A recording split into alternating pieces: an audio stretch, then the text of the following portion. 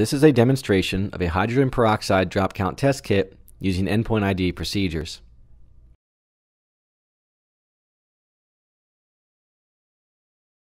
The first step according to the endpoint ID procedure is to gather an accurate sample.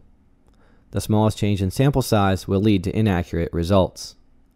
Before gathering your sample, it's important to rinse the vial three times with the sample to be tested.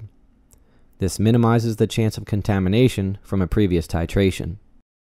To get an accurate sample size, you want to hold the vial close to eye level. Once you feel you have an accurate sample, place the vial on a level surface and bend down to eye level. When performing a drop count titration, a white background can provide contrast to better see the color changes. A cabinet tray or a white paper towel can provide that contrast.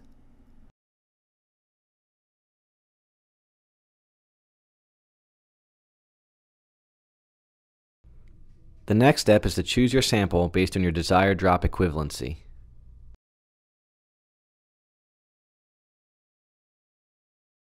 Once you have collected an accurate sample, the next step is to add 8 drops of ferroin indicator. The bottle contains a dropper tip, so it's important to hold the bottle vertically to get a consistent drop size. After the addition of each reagent, it's important to swirl the vial to make sure the reagents are properly mixed. The sample should turn orange. The next step is to perform the titration using ceric sulfate 0.0791 normal. Each bottle of titrant is labeled with the equivalency and sample size it was manufactured for.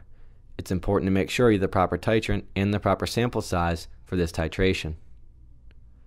The bottle contains a dropper tip, so it's important to hold the bottle vertically to get a consistent drop size. After the addition of each drop of titrant, you want to swirl the vial to make sure the sample is properly mixed.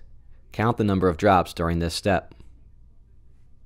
The titration is complete when the sample is changed from orange to blue. Multiply the number of drops by your equivalency factor to determine the parts per million hydrogen peroxide.